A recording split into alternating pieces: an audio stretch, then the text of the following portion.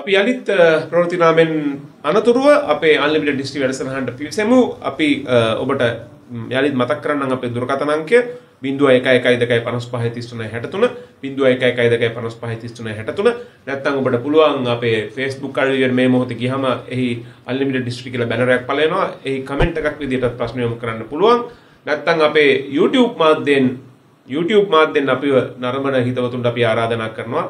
Comments විදිහට එහෙම නැත්නම් ඩිස්ක්‍රිප්ෂන් එකේ තියෙන අපේ ඊමේල් හරහා ඔබට ප්‍රශ්න යොමු කරන්න පුළුවන්. අපි නැදුම්ගමුවේ කිත්සිරි මහත්තයාගේ ප්‍රශ්නේ කොටසකට උත්තර දුන්නස ඒකම එතුමා තව අහලා තිබිච්ච කාරණයක් තමයි මේ ඇයි පුරාවස්තු පොළොව යටට යන්නේ කියලා. ඔව්. දැන් ඕකට මම තව කීප දෙනෙකුත් මම දැක්කලා තියෙනවා. ඔව් ඉතින් ඕකට අපි මේ ලොකු පැහැදිලි කිරීමක් කරන්න ඕමනා නෑ උදාහරණයක් අපි සපයන්ට පුළුවන්. ඔබ ඔබේ නිවසේ පිටුපස වලක් හැරුවොත් අපි එහෙම කරනවානේ කුණු වලවල් එහෙම හාරන්න. එහෙම හාරනකොට ඔබට මොනවද හම්බෙන්නේ? අපිට අපේ පිටිපා අපේ මිදුලේ මුළුතැන්ගේම් පිටිපස්සේ ඔබේ නිවාසය පිටිපස්සේ ඔබ වලක් හැරුවොත් එහෙම ඔබට දකින්න හම්බෙයි. ඔබ ඔබේ නිවසයෙන් ඉවත දමන ලද නොයෙකුත් අපද්‍රව්‍ය Eh, ලැබෙන පනා කෑලිවෙන්ඩ පුළුවන් ටිං කෑලිවෙන්ඩ පුළුවන් වලංකටු වෙන්ඩ පුළුවන් වීදුරු කෑලි තියෙනවා නමුත් අපි එතකොට මතක් කර ගණ්ඩෝන අපි කවදාකත් මෙවා වැලලුවේ නෑනේද කියලා. අපි මේවා කළේ විසිකරපු එක විතරයි. නමුත් ඒවා අපිට වලවල් හාරනකොට යට තිබිලා හම්බෙනවා. ඒ කියන්නේ මේකයි එකේ මූල ධර්මය මේ අපි යමක් පොළොව මතට දැම්මට පස්සේ ඒ පොළොව මත සිදුවෙන නොයෙක් සංකීර්ණ ක්‍රියාවලීන් තියෙනවා. සමහර ඒවා සත්තු විසින් කරන ක්‍රියාවලින් සමහර ඒවා ස්වභාව ධර්මය විසින් කරන ක්‍රියාවලින්. දැන් වරුසාව වෙලාවට අපිට පේනවා පොළවේ බැස්මානුව පස් සේදීගෙන යනවා. ගිහිල්ලා දැන් අපි කියමු යම්කිසි බෑවුම් තැනක දැන් ඔබගේ වත්ත පහල කියලානේ අපි කියන්නේ වත්ත පහල කියලා කියන්නේ බෑවුම. නේ? එතකොට වත්ත පහලට යමක් විසිකරොත් එහෙම වැසි කාලවල් වලදී මේ උඩින් සෝදාගෙන යන පුංචි වතුරත් එක්ක දිය වෙලා යනවනේ රොම්මඩ. මේ රොම්මඩ ගිහිල්ලා තැම්පත් වෙනවා ඒ තැම්පත් වෙන්නේ ඒ වීදුරු කෑල්ල උඩ වෙන්න පුළුවන් පිඟන් කෑල්ලක් විසි කරා නම් වලං කෑල්ලක් විසි කරා නම් ඒ වලං කෑල්ල වහගෙන වතුර ගලනවා ඇයි වලං කැල්ලත් තල්ලු කරගෙන යනවා සමහරලාට. ගිහිල්ලා ඉවරලා අර වතුර හිඳීගෙන ගියාම වතුරේ දිය වෙලාපු රොම්මඩ ටික තැම්පත් වෙනවා. ඔය විදිහට දැන් අපි වලං කැල්ලක් විසි කරාට පස්සේ හොයලා බලන්නේ නැහනේ වලං කැල්ලක් විසි කරා කෝ විසි කරපු වලං කැල්ල කියලා.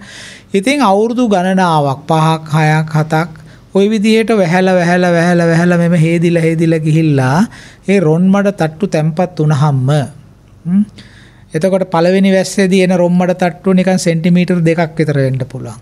ඊට පස්සේ දෙවෙනි වැස්සේදී එන රොම්මඩ තට්ටුව ඔහොම ඔහොම ඇවිල්ලා ඇවිල්ලා අර සෙන්ටිමීටර සෙන්ටිමීටර් දෙක ඔහොම ඔහොම ගිහිල්ලා සෙන්ටිමීටර් 10 15 20 ගිහිල්ලා සෙන්ටිමීටර් 50ක් වුණොත් එහෙම වලංකටුව දැන් තියෙන මීටර් භාගයක් යට. නේ? එතකොට දැන් අනුරාධපුරයේ ඒ වගේ අපි දන්නවා මේ මල්වතුවය මල්වතුවේ පිටාර ගලනවා. අදටත් මෑත කාලෙක මල්ලොතුය ඉතාම සැරපරුස විදිහට පිටාර ගැලුවා. එතකොට එහෙම පිටාර ගැලුහාම පිටාර ගංවතුර එනවා ගංවතුර ඇවිල්ලා යට වෙනවා. ගංවතුර බැහැලා යනකොට සිද්ධ වෙන්නේ ගංවතුරෙන් ගෙනාපු ඒ පිටාර තැන්පත් වෙනවා. එතකොට දැන් මීට අවුරුදු දෙදාහකට කලින් අනුරාධපුරයේ තිබිච්ච දේවල් සමහරට ගොඩනැගිලි පවා. අද අඩි තිහක් තිස් පහක් විතර යට තමයි ඒව තියෙන්නේ මොකද මල්වතු ඔය ඒසා කාලයක් තිස්සේ ගෙනාපු පිටාරවලින් මේවා වැලලිලා වැලලා යනවා. දැ හොම කියනකොට අපේ ශිෂ්‍යෝ එහ මහන ප්‍රශ්නයක් තමයි මේක අපේ ශ්‍රාවකින්ට ඇතිවෙන්න පුළන්ගේ ගැටලුව. අහෙනම් කොහොඳ රුවන්වල සෑ උඩ තියෙන්නේ? නේ? එමන මිරිස වැටිය කොහොම උඩ තියෙන්නේ? අයව එහෙම තියෙන්ට හේතුව තමයි කාලෙන් කාලෙට මේවා ගංවතුරෝල් ඇවිල්ලා වර්ෂාවල් ඇවිල්ලා යම් කිසි විදිහේ යටවීමක් නටබුන්වීමක් වුණා නම් අපේ රජවරු ඒවා එහෙම යටවෙන්න දුන්නේ කාලෙන් කාලෙට කාලෙන් කාලෙට ඒවා විශාල කරමින් ප්‍රතිසංස්කරණය කරමින් ඉදිරියට අරගෙන ආවා. ඒක මේන්ටේන් කළා. නඩත්තු කරමින් ගෙනාව. අපේ ගේ ඇතුළටත් අපි ගේ අතු ගන්නවට හැමදාම හැමදාම අතු ගන්න නැතුව තිබ්බොත් ඔහොම වැලි තට්ටු ඇවිල්ලා ඇවිල්ලා ගේ ඇතුළේ පස් තට්ටුවක් පස් තට්ටුවක් හැදෙන්න පුළුවන් පාඩුවට ඇරිය ගෙවල් වලට ගිහිල්ලා බලන්න. එහෙම එහෙම වෙනවනේ දැන් බලන්න අපි සාමාන්‍යයෙන් දවස් දෙකක් හෝ තුනක් ගේ අතුගාවේ නැති වුණොත් අපි යම්කිසි අපේ මේසේ පිහිදැම්මම පේනවා දූවිල්ලි තියෙනවා. එතකොට අපි කවුරුත් ගෙනලා දාපු ඒවා නෙමෙයි සුළඟෙන් ආපු ඒවා. එතකොට සුළඟ නිසා වර්ෂාව නිසා සත්තුන් කරන ප්‍රවාහනය කිරීම නිසා දැන් අපි දන්නවා ලෑටි ගාන සත්තු ඉන්නවා පොලෝ පහුරු ගාන සත්තු ඉන්නවා මේ අය කරන වැඩ නිසා මේ මේ යම්කිසි භාණ්ඩයක් පොළවේ වැලලී යෑමේ ප්‍රවණතාවක් තියෙනවා. විශේෂයම අඩු කැන අඩු සමෝච්චර එක දැන් බෑවුම් වගේ තියෙන තැන්වල බෑවුමේ තමයි ඒ ක්‍රියාව වෙන්නේ. ඉහළ නෙමෙයි. කාදනය වෙන මූුණතේ නෙමෙයි වෙන්නේ. තැන්පත්වන මූුණතේ තමයි එක සිද්ධ වෙන්නේ. සොනට මේ ඔය තැන්පත් වීම වගේම අනිත් පැත්තට මතුවීමත් පුරාවස්තු මතුවීමත් වැස්ස ඇයි පුරාවස්තු මතුවෙන්නේ ඉහළ සමෝචරයකාවලනේ එකන දැ අපි කියමු බෑවුමක් තියෙනය කියලා. තර වැස්සට වෙන්න මොකක්ද බෑවුමේ උඩ කොටස හේදෙනවා. හේදෙනකොට එතන තියෙන පුරාවස්තුව මතු වෙනවා හැබැයි බෑවුමේ යට තියෙන පුරාවස්තුව මේ වැස්ස නිසා යට වෙලා යනවා සදහටම. ඉති මේ මේ ක්‍රියාවලිය නිසා තමති අපට සමහල්වට හිතාගණ්ඩ අමාරුයි. අනික අපේ ශ්‍රාවකයෝ සමහරය හිතනවා මේ වඩාම පැරණි පුරාවස්තු හොයාගණඩ නම් පොළොවේ වඩා ගැඹුරට හාරණ්ඩෝන කියලා එහෙමත් නෑ. මම මීට අවුරුදු දෙදස් දෙදස් නෙමේ තුන්දාස් එකසිය පණහක් පැරණි නස්ටාවශේෂ සොයාගත්ත පැරණි නිවාසක එතකොට දැම්බලන්ඩ අනුරාධපුරේ අඩි තිහක් තිස්පහක් හැරුවම හම්බෙන්නේ අවුරුදු දෙදාහක් දෙදස් දෙසියක් විතර පරණ දේවල්. මම අවුරුදු තුන්දාස් එකසිය පණහක් පැරණි දේවල් සොයාගණ්ඩ හැරුවේ අඩි එක හමාරයි. උඩරංච මඩම උඩරංච මඩම නිවාසය. එතර ඒක තියෙන්නේ කඳු බෑවුමක. කඳු බෑවුමක කියලා ගැන සේදිල යන මූනතක තැන්පත්තන මූනතක නෙමෙයි. ඒ නිසා චමට මේ නිවාසය සහ ඒ පිළිබඳව අපේ දරුවන්ගේ පොත්තලත් තියෙනට තුරත් තියෙනවා. දහවෙන්නේ දහව දහය වසරේ ඉතිහාස පොතේ තියෙනවා. ඒ වගේම දහය වසර සිංහල පොතේ රචනාවකට තියෙනවා උඩරංචමඩ මේ නිවාසය ගැන රචනයක්.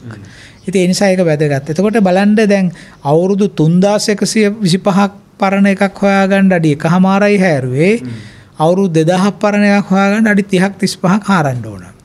එතර ඒක එහෙම සිද්ධ වෙන්නේ ඒ පොළවේ පිහිටීම අනුව.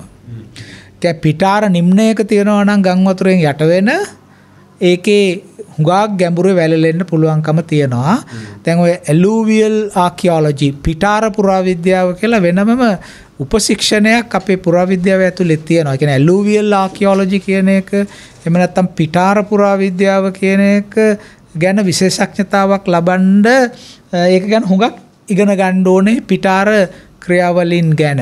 එතකොට ස්පිලියෝ ස්පීලියෝ තීමටික් ක්‍රම කියන ගැන ස්පීලියෝ තීමටික් ආකියෝලජි කියල එකක් තියෙනවා. එම ස්පීලියෝ ලොජිකල් ආකියෝලජි කියලත් කියන එකැන ගල් ගුහා ඇතුළේ කරන පුරාවිද්‍යාව. ඒක තියෙන්නේ වෙනමම තැන්පත්වීමේ ක්‍රියාවක් එක තේරුම් ගන්න. මේ විදිහේ මේ නුවන් ඊළඟට වෙටලන්ඩ ආකියෝලොජි කල එකක් තියෙන එකන මුතුරාජ වෙල වගේ වගුරු හාරණකොට ඒ ඔතෙත් බිං ආශ්‍රිතව. එතොට මේ නිසා අපි අපේ මේ මේ හිතවත් කිත්සිරි මහත්මයට කියන්න තියෙන්නේ පොළවේ පුරාවස්තු තැන්පත්වීම අපි කවුරුත් කරන දෙයක් නෙමෙයි. ඒක ස්වභාවධර්මය විසින් කරන වැඩක්. ඒ පිළිබඳ න්‍යායන් දියුණු කල්ලා තියෙන අයවත් තේරුම් ගන්න කොහොමද කියන එක. එතකොට එතුමාගේ ප්‍රශ්නයට උත්තර ලැබුණා. ඒ ජනාවාස කොහොමද තිබුණේ කියන එක ගැනත් එතුමාට උත්තරයක් ලැබුණා. ඉතින් අපේ පුරාණ කාලේ හුඟක් සාමාන්‍ය ජනතාව ජීවත් වනේ වරිච්චි ගෙවල් වල. ඒ වගේම වරිච්චි ගෙවල් කිව්වම අපි දන්නවා මේ වහල ශාක ද්‍රව්‍යවලින් හැවිල්ලල තියෙන්නේ ඉතින් වරිච්චි ගෙවල්වල ජීවත් වනා කිව්හම ඒක මේ අඩු තක්සේරුවකට යන්ඩ වමනාවක් නෑ. මොකද මේ නිවර්තන කලාපීය රටක මේ අපේ වගේ ජීවත්වෙන්ට තියෙන හොඳම ක්‍රමය තමයි මේ වරිච්චි සහ එලුක් හැවිල්ලපු ගෙවල් මොකද මේ තියෙන රස්නයට සහ අපේ වරුසා කාලෙට අවශ්‍ය රශ්නය රඳවා ගණ්ඩ වඩාම හොඳ ක්‍රමය තමයි මේ වරිච්චි ගෙවල්. මේ පිළිබඳ මොරටුව විශ්වවිද්‍යාලේ වාස්තු විද්‍යා දෙපාර්තුමේන්තුවේ විද්වතුන් විසින් කරපු පර්යේෂණ පත්‍රිකා කීපයක් අන්තර්ජාලයෙන් ලබා ගණ්ඩත් පුළුවන්. ඉතින් ඉතාම විශිෂ්ට විදිහට පෙන්නල දීලා තියෙනවා ඒ වාස්තු විද්‍යාව ගන්න විශේෂඥෝ ඉංජිනේරු අන්සේ විද්‍යාඥයෝ මේ මේ වරිච්චි ගෙවල් වලට පුළුවන්කම තියෙනවායි කියලා අධික උණුසුම් කාලවල් වලදී අවශ්‍ය කරන සිසිලනය රඳා ගන්න. ඊළඟට අධික වර්ෂා කාලවල් වලදී අපට ජීවත් වෙන්න අවශ්‍ය කරන උණුසුම ආරක්ෂා කරගන්නත් මේ බිත්ති වරිච්චි බිත්ති වලට පුළුවන් කියලා. ඉතින් එතකොට එහෙමනම් මේ ඊළඟට වහල ඔය මොනතරම් රස්නේ තිබුණත් ඉලුක් වහලක් වහලා තියෙනකොට ඒකේ ඒකේ සනීපයක් තියෙනවානේ අපිට අපිට හිත කරයි ඒක. එතකොට එහෙමනම් මේ වරිච්චි සහ ඉලුක් වලින් වහපු ගෙවල් වල ඉන්නවයි කියන එක අනේ අපේ ඉතිහාසයේ අය හරි දුප්පත් නේ. එහෙම ඉඳලා තියෙන ඒගොල්ලන්ට හරි තාක්ෂණයක් නැහැනේ අපිට වගේ කොන්ක්‍රීට් ගෙවල් හදාගන්න කියලා හිතන්න එහෙම එපා. අපි කොන්ක්‍රීට් ගෙවල් වල සිමෙන්ති ගෙවල් වල මේ ඉන්න එක අපිට වදයක් නේ අපි හරීම කෘත්‍රිම විදියට ඉන්නේ විදුලි පංකා හයි කරගෙන වායු සමීකරණ හයි කරගෙන විදුලි ආලෝකය දල්වාගෙන අපි ඉන්නේ එහෙම නැතුනොත් එහෙම අපිට ඉන්න බෑනේ නේද? ඒතර ඒ කියන්නේ අපි ඒතරද විදුලි බලය යන හිටියොත් එහෙම මොකද වෙන්නේ අපිට? නේද? අපේ ජීවිතේ ඇන හිටින තත්ත්වයට යනවා. නමුත් වරිච්චිගයක ඉන්න කෙනෙකුට විදුලි බලය ගැන කිසිම ප්‍රශ්නයක් නැහැ. ඒ අයට ඕන තරඟට ඉන්න පුළුවන්කම තියෙනවා. ඒ වගේම තව ප්‍රශ්නයක් ඇහුවා නේද? විදුලි එළිය ආලෝකය ආලෝකය ලබා ගන්න කොහොමද කියලා. ඉතින් ඕකට මේ කිච්සිරි මහත්මයාට දෙන්න තියෙන උත්තරේ තමයි මේවා ගැන කවුරුත් මේ රටේ එහෙම ගැඹුරු පර්යේෂණ කළා නැහැ. නමුත් එහෙම නොකරයි කියලා අපට ඒ ගැන මුකුත් නොකියා කියන්න බැරි කමකුත් නැහැ. දැන් අනුරාධපුරයේ තියෙන සමහර සෙල්ලිපිවල සහ රටේ වෙනත් තැන්වලත් තියෙන පුරාණ සෙල්ලිපිවල කියලා තියෙනවා සමහර පන්සල් වලට රජවරු ආධාර දීලා තියෙනවා. ආධාර දෙනකොට සමහර දායකයෝ ආධාර දීලා තියෙනවා. ඒ ආධාර දීලා තියෙන්නේ පහන් දල්වීම සඳහා. පහන් දල්වා ගැනීම සඳහා. එතකොට ඒ පහන් දල්වා ගැනීම සඳහා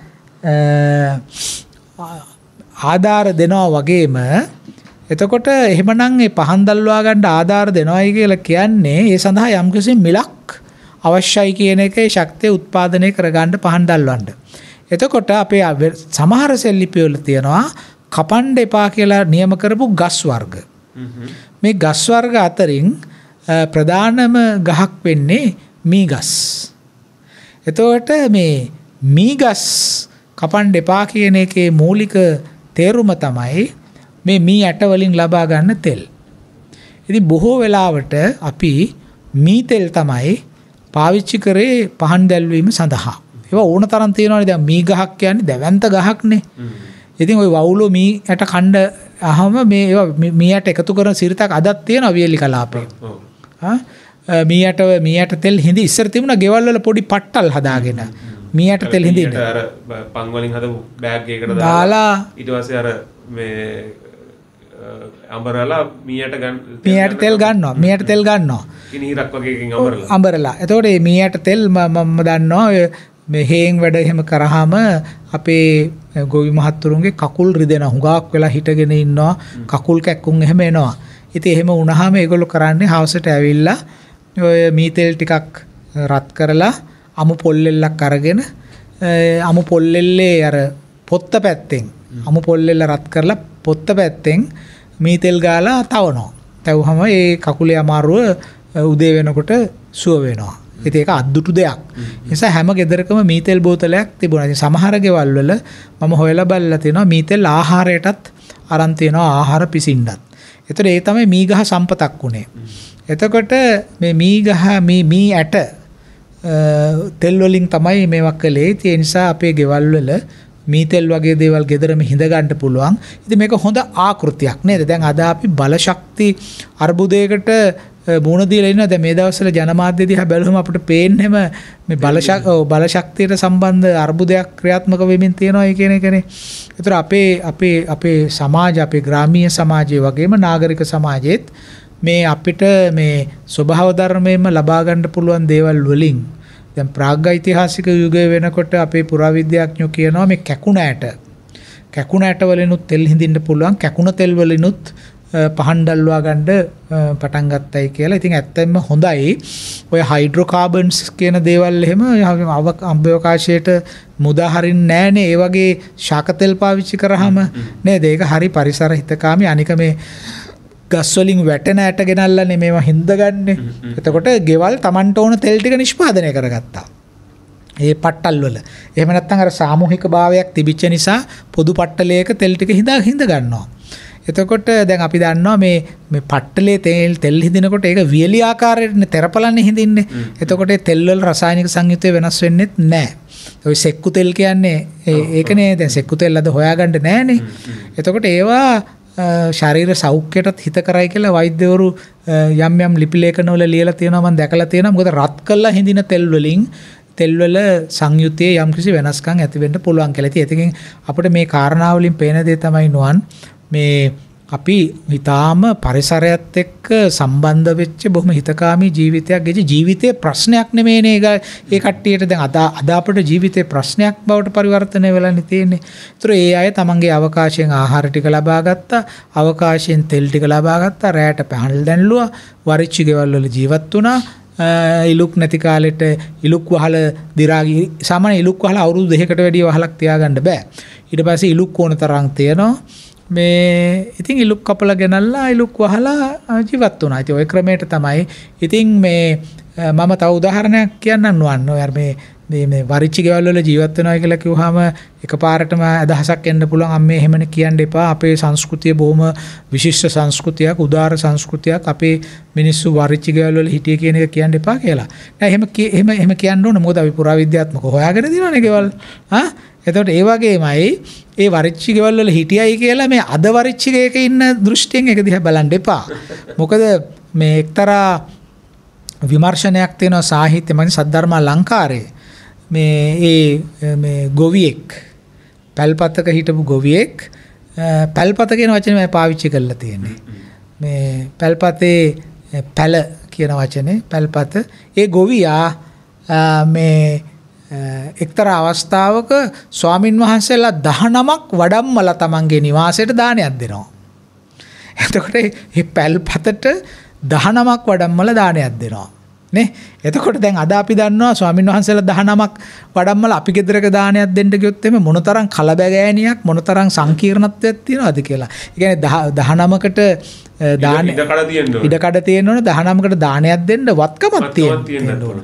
එතකොට එහෙමනම් අර සද්ධර්ම අලංකාරය පැහැදිලි කරන ආකාරයට ඒ ඒ ගොවියා පල්පතේ හිටියට ඔහුට ස්වාමින් වහන්සේලා දහනමක් ගෙදරට වඩම්මලා දානයක් දෙන්න පුළුවන් තරම් ශක්තියක් තියෙන කෙනෙක්. නිසා අපි ඒක තේරුම් ගන්න ඕන. ඇත්තෙම අදත් අපිට පුළුවන්කමක් තියෙනවා නම් ඔය වරිච්චි තාක්ෂණයම පාවිච්චි කරලා යම්කිසි විදිහේ ගඩොලක් නිෂ්පාදනය කළා මම දන්නවා තරුණ ඉංජිනේරු කීප දෙනෙක් මේක ගැන කල්පනා කරලා ඒ ගැන වැඩ කරලත් තියෙනවා සෑහෙන දුරකට. මේ මේවා තමයි අපි ප්‍රශලිත කරන්න ඕන. මේ අපිට තියෙන අර්බුද විසඳා ගැනීම සඳහා අපට පුළුවන් ඕන්නම් පර්යේෂණ කරන්න ඉලුක් වගේ මේ දේවල් වලින් උළු කැටයක් හදන්නේ කොහොමද කියන එක. නූතනයට ගැලපෙන විදිහට. දැන් ওই පන්සල් කියන වචනේ තියෙනවනේ නුවන්. පන්සල් කියන්නේ පර්ණශාලා. පරණ කියලා කියන්නේ මේ කොලාතු සෙවිලි කලා කියන එක. පරණ ශාලා කියන එක තමයි පන්සල් කියලා කියන්නේ. එතකොට එව්වා මේ මොනාද ඉලුක් වගේ නොයෙක් ශාක අතු හෙවිල්ලපු තැන් තමයි පන්සල් හැටියට තිබුණේ. එතකොට පසු කාලය වෙනකොට රජවරු අතරමැදි වෙලා ඔය මේ විශාල ගල් කනුවලින් ලෝවා මහපාය වගේ ඒවා හදලා දුන්නා. හැබැයි ග්‍රාමීය මට්ටමේ වෙන යනකොට හුඟක් වෙලාවට තියෙන්න ඇත්තේ මේ ඒ වගේ පන්සල් පර්ණශාලා කියන තමයි කියලා අපිට පේනවා. පිළිමගේ වගේ දේවල් ගල්කණු කීපයක් එකතු කරලා හදපු පිළිමගෙවල් තියෙනවා. නමුත් ස්වාමින් වහන්සේලා වාසය කරපු ආවාස ගෙවල් එහෙම අර විදිහේ වරිච්චි කුටි හැටියට තිබිච්ච බව තමයි අපට පේන්න තියෙන්නේ ග්‍රාමීය සංයුත්තේ. ඔව් සෝදෙන් අපේ මේ මුඛ්‍ය තේමාවට අපිට එන්න වෙනවා. අපි ගිය වැඩසටහනේදී මම හිතන්නේ අපි පොරොන්දු වුණා. මේ වැඩසටහනෙන් අපි යම්කිසි ආකාරයක හමාර කිරීමක් කරනවා කියලා මේ සිංහල අකුරු නිර්මාණය කරණය කොයි ආකාරයෙන් සිද්ධ වුණේ බ්‍රාහ්මීය අක්ෂරවල ඉඳලා කියන කාරණය. අපි ඒ කාරණය පටන් ගමු සර්. ඔව් අපි එද ගිය සතියේත් අපි සාකච්ඡාව යම්කිසි දුරකට ගෙනාවා. මේ අකුරුත් එක්කම අකුරු වර්ධනය වුණේ ඇයි කියන ප්‍රශ්නය හුඟක් දෙනෙකුට තියෙනවා මේ මේ රවුන් අකුරු දැන් මේ අපේ අකුරු රවුම් රවුමුණේ ඇයි කියන එක. ඉති අපි පහුගිය වැඩසටහනේ ඒ පිළිබඳ යම්කිසි ඉංගියක් දුන්නා මොකද අපි කාලයත් එක්කම අපිට ලියන්න තියෙන ප්‍රමාණ වැඩි වුණා. ලියන්න තියෙන ප්‍රමාණ වැඩි වෙනකොට අපි කාරණා දෙකක් අපිට කරන්න සිද්ධ වෙනවා. එකක් අපි ලියන මාධ්‍ය වෙනස් කරන්න සිද්ධ වෙනවා. දැන් හුඟක් විස්තරාත්මක දේවල් අපිට ගල්වල ලියන්න බෑ. ලියන්න පුළුවන්ව සීමිතයි දැන් ගල් පොත සෙල්ලිපි වගේ ලොකු සෙල්ලිපි තියෙනවා. පොළොන්නරුවේ. පොළොන්නරුවේ.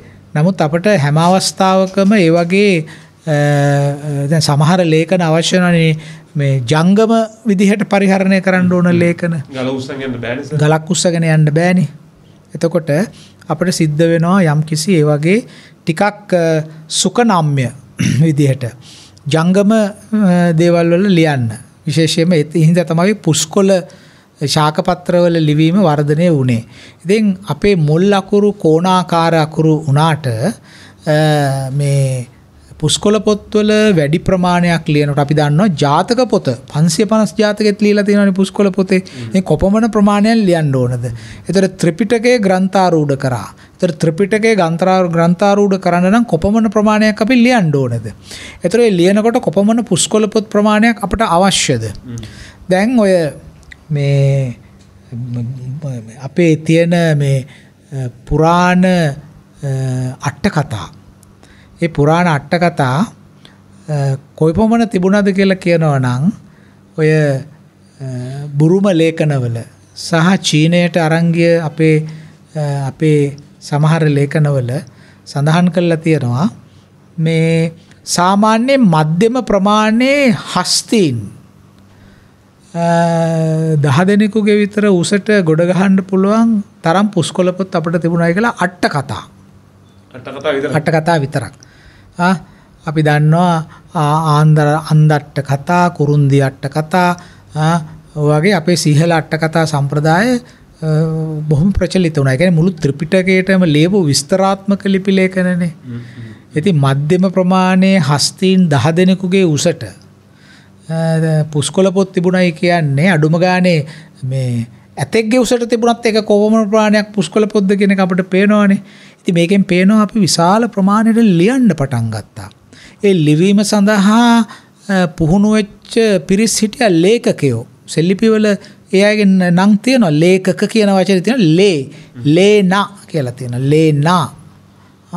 එතකොට කස්බල් ඈපානන් පයමුල් ලේ දරු කාශ්‍යප ඈපානන්ගේ පාදමූලයේ සේවය කරන ලේඛක දරුවා. කියන්නේ ලේඛක නිලධාරියා. කියන දේ වචනය ඔසීගිරි කැටපත් පවුරෙහිම හොයාගන්න පුළුවන්. ලියන ගේලත් එන්නත් එහෙම වෙන්න. ඒ ලියන ගේලා ඒ ඔක්කොම කට්ටිය ඒ මොකද ලිවීම කියන එක තාක්ෂණයක්. අපේ පුරාණ සමාජයේ හැම කෙනාම ලිව්වේ නැහැ. ලියන්න පුරුදු වෙච්ච වෘත්තිකයෝ හිටියා. ඒගොල්ලෝ තමයි ලියන විදිය දන්නේ. දැන් ඉන්දියාවෙත් එහෙම හිටියා. ඒගොල්ලන්ට කිව්වේ සංස්කෘත භාෂාවෙන් කායස්තවරු කියලා. ස්ක්‍රයිබ් කියලා ඉංග්‍රීසියෙන් කියන්නේ කායස්තවරු. ඒගොල්ලෝ තමයි මේ කායස්තවරු තමයි ලියන්න දන්නේ. ලිවීමේ ක්‍රමය. නේ දැන් අපි දන්නවනේ අපටත් ඉස්සර කාලේ පන්සල් අධ්‍යාපනයේ තියෙනකොට ලියන්න උගන්වනවනේ වැලිපිල්ලේ. නේ අයන් අකුරු දරන් හිටියත් හාමුදුරුවරු මේ කවුරු හරි ඉතා සීමිත පිරිසක් සීමිත පිරිසක් කලින් කිව්වත් ඔව් මොකද එහෙම වුණේ ඒ අකුරු දැන හිටියේ සීමිත පිරිසක් කියන එකෙන් අදහස් කරන්නේ අපේ සමාජය එහෙම උගත්කමක් නැති සමාජයක් කියන එකක් නෙමෙයි. අකුරු දැනගණ්ඩ වුවමනා වෙච්ච පන්තියක් හිටිය සමාජයේ. සාක්ෂරතාව පවත්වාගෙන යන්න ඕන පිරිසක්. මොකද අපි දන්නවා අපේ සමාජයේ කෘෂිකාර්මය, පශුපාලනය සහ ඔය මැණික් කර්මාන්තය, වළං කර්මාන්තය. වගේ නොයෙකුත් කර්මාන්තවල නියැලිලා කෘෂිකර්මයත් එක්ක හිටපු ජනතාවක්නේ හිටියේ. දැන් අපි හේන් කොටන මිනිස්සෙකුට කුඹුරු කොටන මිනිස්සෙකුට උදේට හේනට කුඹුරට ගියාට පස්සේ මේ හවස ගෙදර ඇවිල්ලා මේ ලියන්ඩ කියන්ඩ කියවන්ඩ උමනා උන්නේනේ මේ අපේ ග්‍රාමිය මිනිසුන්ට ප්‍රවෘති දැනගණ්ඩ උමනා උනේ නෑනේ සහ අනිත්තක මේ මේ කෘෂිකර්මය පරම්පරම් පරම්පරාවට ගිය හින්දා ලියදි සකස් කරන විදිය වීහන විදිය ලියල දෙන්න ඕනේ ඒක උවමනා උනේ නෑ. නෙගුල පරම්පරයකෝ දැනගත්තා. ඉතින් මේ මේ අපි මේ හුඟක් දේවල් තොරතුරු දැනගණ්ඩ යෑම නිසා සමහර ප්‍රශ්නත් ඇති වෙලා තියෙනවා. ඊයේ මම දැක්කා ප්‍රවෘත්තියක් මේ ජනමාධ්‍යවලින් නිතරම මේ මිය යන සංඛ්‍යාව කියන එක මානසිකව බලපානොයි කියලා වයසකයිට ඔව්. ඉතින් ඒක දැන් හරි කල්පනා වෙච්ච එක ගැන අපි සතුටට පත් වෙනවා. වෛද්‍යවරු එහෙම කියපු ගැන අපි තුමන්ලට ප්‍රශංසා කරනවා. ඉතින් ඒව ගැන හුඟක් හිතන්න ඕන. මේ මේ තොරතුරු කියන ඒවා වක්කඩ ගැඩුවා වගේ මේ මිනිස්සුන්ට ඕන තොරතුරුත් තියෙනවා එපා තොරතුරුත් තියෙනවා. ඉතින් තොරතුරු කියන ඒවා මහජනයාට දෙන්න ඕන මේ වක්කඩක් ඇඩුවා වගේ නෙමෙයි. අවශ්‍ය එක තෝරා බේරාගෙන යම්කිසි සංයමශීලී ආකාරයට දෙන්න ඕන. දැන් අපේ සමාජ ග්‍රාමීය සමාජයේ මානසික සෞඛ්‍යය ඉතා ඉහළයිනේ. ආ ඒගොල්ලන්ට එහෙම මේ පරිපීඩනයක් ඇති වුණේ නැහැ මානසිකව. ඒගොල්ලන්ට අවශ්‍ය තොරතුරු ප්‍රමාණය විතරයි ඒගොල්ලෝ දැනගත්තේ. ඉතින් ඒ නිසා නුවන් මේ අක්ෂර රවුම් වීම සිද්ධ වුණේ අපේ මේ කායස්තවරු අතරින් කායස්තවරු ගැන මේ ලියපු කියපු සාක්ෂරතාව තියෙන අය වික්ෂුන් වහන්සේලා තමයි මේ අතර මූලිකත්වයට එන්නේ. එතකොට මං කිව්වා පුස්කොළ වගේ පුස්කොළ කියන්නේ තල්කොලේ තල්කොලය වැටකෙයියා කොලය කරකොලවලත් ලියලා තියෙනවා. කරකොල කියලා જાතිය තියෙන්නේ. දැන් කරකොලවල ලියලා තියෙනවා දිවිසීට්ටු කියලා જાතිය. දිවුර දිවුරනවා දිවරීම් ලියලා ලියන සීට්ටු දිවිසීට්ටු ලියලා තියෙනවා කරකොලවල. ඉතින් අපිට මේ ලිවීම පිළිබඳ ලොකු තාක්ෂණ නැතන ඉතින් මම කියන්න ගියේ දැන් පංහිඳක් කියන්නේ ලෝහ කූරක්නේ. ඒ ලෝහ කූර අරගෙන ලෝහ කූරු හම්බෙලා තියෙනවා. පරණ පංහිඳවල හම්බෙලා තියෙනවා. ලෝහ කූරු වලින් ශාක පත්‍රයක ලියන්න ගියාම කෝණාකාර අකුරු ලියනකොට මේ නාරටි අතර මේක ඉරෙන්න පුළුවන්. රවුන් අකුරු ලිවීමේද රවුන් අකුරක් ලියන්ට අත මෙහෙම තියාගෙන ඒ වස්තුව උඩ මෙම රවුන් කරලා ලියනකොට අපට පරිස්සමෙන් කොලේට හානියක් නොවෙන ආකාරයට එක ලියන්න පුළ මේක තමයි පළවෙනි උත්සාහය හැටියට අපට පේන්නේ. දැන් ඔය සීගිරි කැටපත් පවුරට ගිහාම එහෙම අපට පේනවා ඒ ඒ රවුන් වීමේ මූලික අවස්ථාව පටන් ගන්නවා කියන එක. දැන් බිත්තියකුණත් ඉරි ගැහුවොත් කපරරුව කැඩෙන්න පුළුවන්. නමුත් බිත්තියක රවුම් කරලා ලියනකොට ඒ අකුර ආරක්ෂා වෙන්න පුළුවන්කම තියෙනවා. ඉතින් අකුර රවුම් වන්න බලපෑවේ කාරණා දෙකක්. එකක් මාධ්‍ය අනික බොහෝ ලිවීම අකුරු කෝණාකාර වලින් ලියනවට වැඩිය බොහෝ ලේවල් ලියනකොට වචන එකහු කර ගැනීම මේවට පහසුවක් වෙනවා මේ රවුම් ආකාරයට අකුර පත්වීම. හරි අපි අපේ විරාමයට යන්. අපේ විරාමය ගන්න අතරතුර අපි මතක් කරන්න ඒකම මේ අර අපේ මහාචාර්යතුමා කිව්වා මාධ්‍යත් පළ කරලා තියෙනවා. මේ මිය යන අය ගැන දුක්මුසු ප්‍රවෘත්ති බලන එක එච්චර මේ දවස්වල හොඳ නැහැ කියලා. මේ අපි මේ අවස්ථාවේ අපි කරන වැඩ ගැනත් කියන්න ඕනේ. අපි කාලයක් තිස්සේ මේ ගැන වෛද්‍යවරුන් ප්‍රකාශ පත් කරනත් කලින් මහාචාර්යතුමනි දැන් අවුරුද්දක විතර තිස්සේ ඉඳන් මේ මේ ව්‍යසනේ පටන් ගත්ත කාලෙම අපේ හැමදාම උදෑසන ප්‍රවෘත්තිවල අපි ගුඩ් නිවුස් කියලා විශේෂාංගයක් කියවනවා. මේ කලබගෑනි අස්සෙත් මානව වර්ගයාගේ දියුණුව වෙනුවෙන් මිනිස්සු කරන හොඳ වැඩත් අපිට ප්‍රවෘත්ති හැටියට ඉදිරිපත් කරන්න පුළුවන් කියලා පෙන්වන්න. ඉතින් අපේ net news එක්ක සම්බන්ධ වෙලා ඉන්න අපි යම් විරාමයකට විරාමෙන් අනතුරුව නැවතත් unlimited history සමග